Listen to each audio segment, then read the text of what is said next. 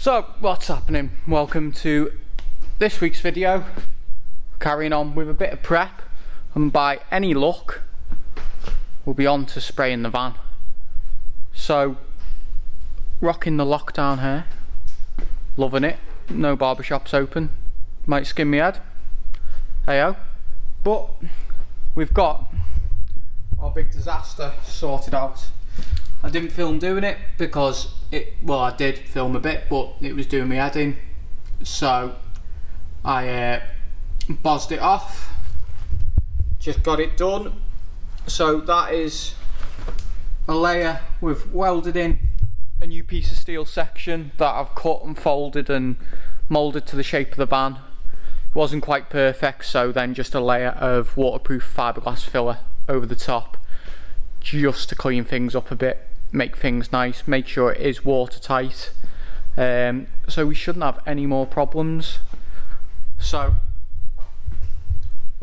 nearly finished off sliding door jamb all that's really left to do on this side now is sand down the black and then that is this side all done. Then got to move on to the back doors. As you can see I haven't really done much on them. The rear steel there step and all the door jamb retape put my mask in there because I had to break in to see inside the van where the hole was. So then back doors um, found on the back door handle don't know if you can see that. See it's bowed in. Um, it looks like when the previous owner had the van um, somebody's attempted to break into it. So we're going to sort that out. I'm going to put a bit of filler over that just to neaten it up. There's a ding in the driver's door. I'm going to bang a bit of filler on to neaten up and there's a ding in the passenger door. Um, that needs a bit of filler in. There's a couple of bits I'm just going to skim a bit of filler over on the um, sliding door. But the sliding door is in remarkably good condition. Um, we took it back basically to bare metal around the deadlock because we were starting to get rust bubbling through the paintwork there. Got all the window masked off. So all in all a bit more masking work to done bit more prep work to be done. And then it's a case of panel wipe the whole van down tack wipe the whole van down and we're on to paint. How we're going to do it this time same same sort of way we did it last time. We're going to go for our black first. We're going to get all our black done respray the bonnet black respray the bottom of the sliding door black, get all the black done, get it out the way. So we'll mask up a line along the van again, spray up to that line. We're actually going to drop the line a bit lower this time, so the white's going to come down to here. It just means that that mask line, oh, getting blinded, Brian LED, um, that mask line is hidden by the plastics so it's not as important it doesn't matter as much. It doesn't have to be absolutely spot on. Um, I've got the scuttle panel to prep which it's only a little piece it's not much. Um, that shouldn't take too long at all and the windscreen to mask off. Now I've bought something to try on masking the windscreen off. This is um, the specialist trim masking tape. So, so this trim masking tape, as you can see, let's just rip a strip off here. That little plastic piece, that goes into your rubber seal and then you wrap that self-adhesive there, you wrap around so you don't have windscreen. So basically, you come in to the edge of your seal here, slide it up and down, There we go. We got that in. And then that, put it taut. Put it nice and tight so it creates that gap there. That means you're not going to have any hard lines on your spray. And you're not going to have any horrible paint on your actual uh, seals. So all in all, I'm getting backlit again. Uh, we are getting there. Um, I'll get on with it, get a bit more done. And we shall catch up with you in a bit. Um, I'll do the same thing as I did last time, go right through the process of Raptor. Because that seemed you, you liked it. So, we'll catch up with you once we get a bit more prep done. Catch you in a minute.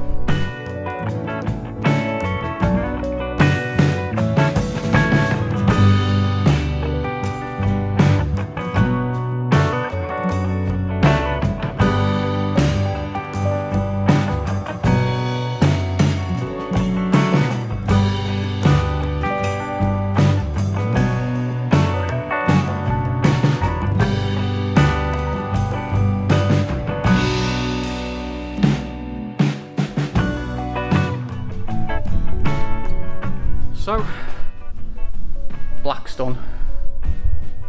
It's all um, on. Didn't shoot masking off. I doubt you really want to see that, but black is all on now. Done all inside the doorsteps.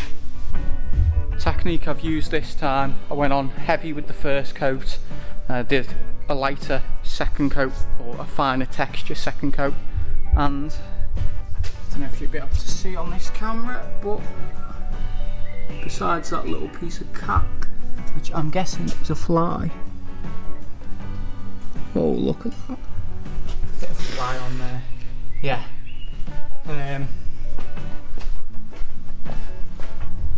yeah, I am well, well happy with the finish. I also did some of the handles for the doors. Can't really see them that well. Sliding doors done. Underneath the sliding doors done in the black. Bonnet's done. Looking mega. So, another thing I want to talk about is if you are going to Raptor your van, and I mean Raptor your van, full van, I really wholeheartedly suggest you get in the proper U-POL Raptor gun. Because that doesn't half make a difference. As you can see, gone through four litres doing that black. But yeah, this this gun I can't say anything better about it. Obviously get yourself a water trap and a pressure regulator as well. Last time I sprayed the van I made the mistake of not doing that. And while the result was good, it's not as good as the result I've got this time. Also, excuse probably a face mask mark because isocyanates, always wear a mask when you're spraying Raptor because it's not good for you and the uh, the lockdown do on the air so comment below if you like the lockdown do. Loving it. Um, just take you for a little walk around. But I am I'm chuffed with it. There's a few bits that probably could have gone on better. But it's that way with every paint job. No matter how good you are, you'll always find some imperfections in your work. So yeah. There's all our black done.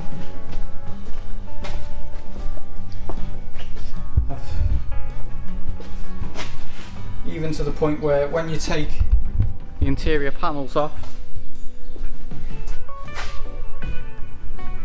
the interior panels, what am I on about? I must be high on paint fumes. When you take the interior lower door cubby compartment off, it's black behind it and it all matches.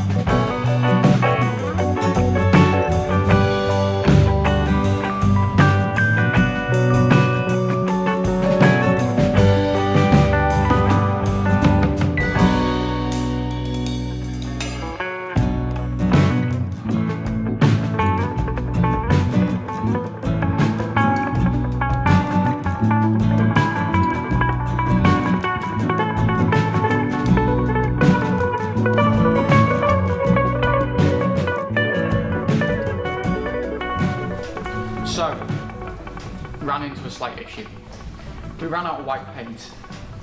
Um, yeah, not, not the best on my behalf. I didn't order enough. So if you're doing a van like this, we're doing all the door jambs and the insides of doors and the interior of the sliding door and the roof and everything 12 litres is not enough if you're going for the white it might be if you're going for a coloured and tinting it a, a, a dark colour but with white it just didn't cover so we've got another 8 litres of white on the way to do the sliding door finish it off do the back doors and give the whole van another dusting over just to take up any of the spots where you've still got a bit of primer coming through very slightly. It's very subtle, but I know it's there and it'll wind me up.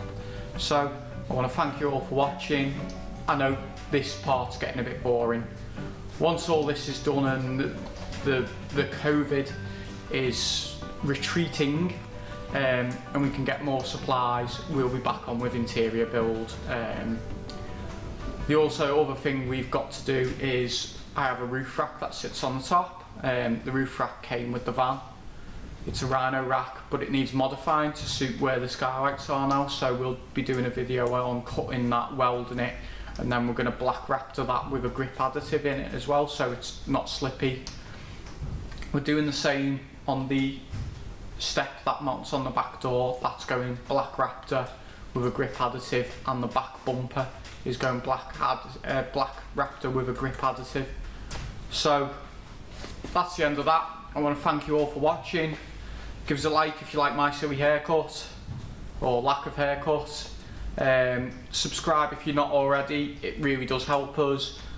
Ring the little bell and you'll get notified when we actually do post. Um, I did promise you I'd be posting weekly, and worked out. Um, well, it has, but it's not been on the same day every week. So give us that thumbs up, big thumbs up, whoop whoop, and subscribe. Also, link in the description below to our Instagram. Um, check us out on Instagram. I post daily on Instagram basically, so you get more of an idea of what we're going through, what we're doing.